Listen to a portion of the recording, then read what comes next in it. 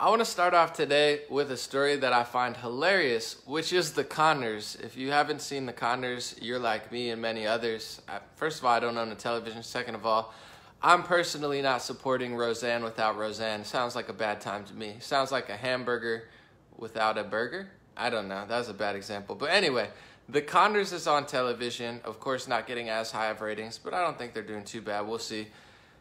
What I'm talking about with the Conners is how unaware that the media is. This just shows how goofy uh, the media is. So, they did apparently an episode about Halloween and PC culture. So, I'm going to read you two back to back headlines and you can have a laugh with me before we get serious.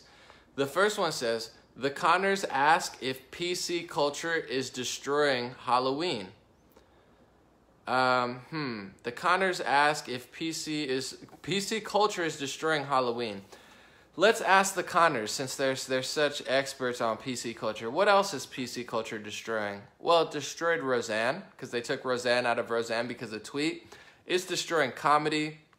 It's destroying the country. It's destroying the world. But uh, somehow this news source thinks the Conners ask if PC culture is destroying Halloween. They're so unaware. Literally, they're the PC culture like spokespeople now. They can't even have the star of their show on the on the screen because of a tweet, but somehow they're going to lecture us on PC culture. No, thank you. Uh, turn off. But uh, uh, the second thing is someone wrote an article and the headline was The Conners shows way more political awareness than Roseanne in the Halloween episode. The Conners shows way more political awareness than Roseanne ever did in the Halloween episode. So someone thought it was a good idea. Like that's the funniest part to me, outside of the Conners, how they took Roseanne out of Roseanne, is someone thought it was a good idea. Like someone gets paid to do this. Like someone actually gets paid. They go into work. They drink their coffee. They, you know, they're like, mm, what are we gonna write about today? And then they look at themselves in the mirror and they actually believe themselves, or maybe they don't. Maybe they know.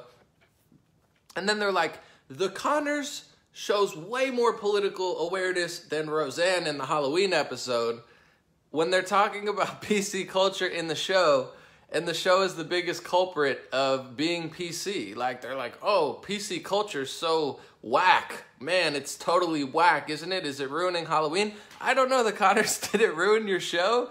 And so and then the, the people writing these articles, they just really think it's a really great idea to just like they're so unaware. It's like I could talk about this all day. I'm gonna move on to the next one. I, they're talking about PC culture in a Roseanne episode, and it's way better than the original. Man, they're so aware of what they're doing. They're so aware. It's like, no, you're not aware. You're so not aware that you're writing articles about awareness when you're not aware, talking about a show's not aware, that's literally talking about a subject that they're the biggest culprits of, acting like they're the Gandhi of the topic. I mean, it's. Just, I'm just gonna start laughing because crying didn't work. Uh, sitting in bed for five hours being depressed doesn't work. So I'm just gonna laugh at whatever whatever this delusion is. It's hilarious. God bless the Conners. God bless Roseanne. No, I'm not tuning in. The next story.